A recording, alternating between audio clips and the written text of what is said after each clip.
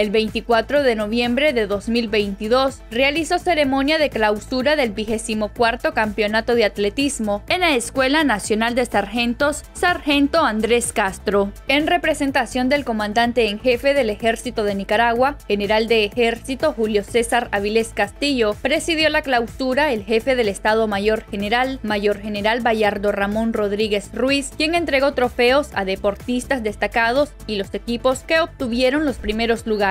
Transmitió el saludo del comandante en jefe y en sus palabras destacó. En el desarrollo de este campeonato de atletismo participaron 19 unidades militares de todo el territorio nacional, de ellos 81 oficiales, 29 suboficiales, 75 clases, 139 soldados, 22 cadetes y 20 auxiliares. Como resultado de la entrega, disciplina, dedicación y alto nivel de preparación alcanzado, quiero felicitar de manera muy, muy especial a los equipos de las unidades militares que obtuvieron los tres primeros lugares. Tercer lugar, Brigada de Infantería Mecanizada General Augusto C. Sandino. Segundo lugar, Cuerpo de Escoltas del Ejército de Nicaragua, Soldado Calixto Tercero González.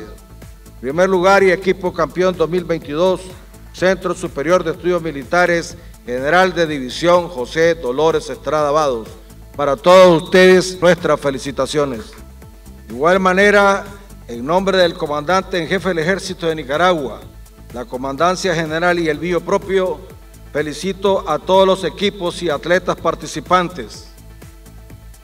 Quiero hacer una mención especial a las 87 compañeras atletas que participaron como dignas representantes de la mujer nicaragüenses. Durante la ceremonia participaron oficiales generales y superiores miembros del Consejo Militar, el coordinador de delegaciones departamentales del Instituto Nicaragüense de Deportes, licenciado William José Aguirre Villavicencio, agregados de defensa, militares, navales, aéreos y adjuntos acreditados en la República de Nicaragua, oficiales del Ejército de Nicaragua en la honrosa condición de retiro, medios de comunicación social e invitados especiales. Nos sentimos bien orgullosos porque fue una competencia de fraterna y muy fuerte. Muchos equipos estuvieron bastante este, competitivos y nosotros nos sentimos realmente victoriosos, nos sentimos orgullosos de representar al Centro Superior de Estudio Militar.